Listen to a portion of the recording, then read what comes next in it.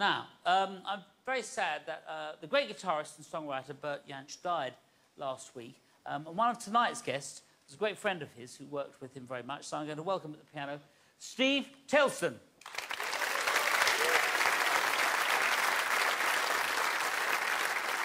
Now, um, you've got a marvellous record out as well. We heard you sing. That was beautiful, your Thanks, voice. thanks. Lovely. Thank Um, now, how, how did you get to know Bert?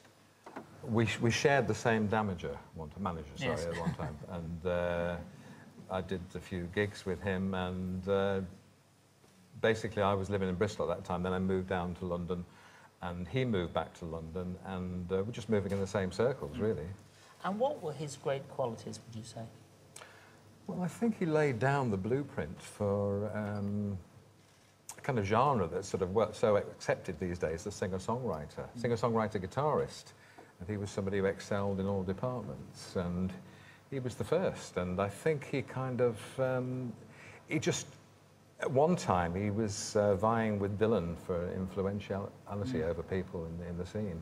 A great originator, charming fellow as well. Yeah, really, yes. A very, very sort of diffident man, but um, just one of the great talents, I think, one of the great originals.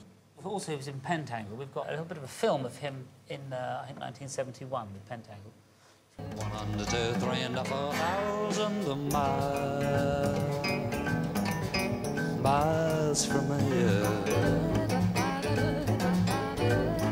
Lord, I tried my best to be your man.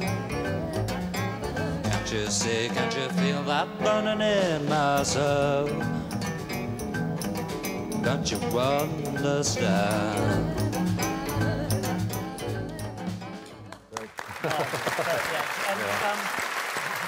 We do as well, in fact, I'll just say this to the viewers, we do have on our website that he was on our show a few times, I think, and um, we've got that if you go to our website, you can enjoy much more of Bert, which is uh, another thing. But um, uh, when did you, you, you had a folk club with him, I believe? In the, That's right. I used to run this. It was called the Catch 22 Club in the New Kings Road. Basically, because you had to catch the 22 bus to get there. Very it was, good. Uh, ah, yes. And he, myself, and um, uh, Doug Baker, the American guitarist, we used to run it. Bert was more the sleeping, well, more the drinking partner, that kind of at that particular time. you know, Slumber partner, yeah.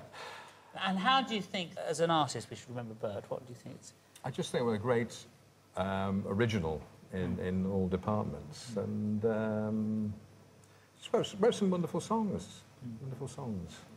Um, but his legacy is a, a lot of the way a lot of people could play guitar these days, just um, probably without knowing it, but they've um, got sort of little bits of, of Bert there. I mean, since he's died, every time I pick up the guitar, so a Bert song comes out every time I play, you know. yeah, yeah. It's, uh, and songs that I thought I'd long forgotten are coming out. And it's, it's wonderful, really. It's Yeah. great, yeah. yeah. Great. Well, thank you very much indeed. Steve Tilston, remembering uh,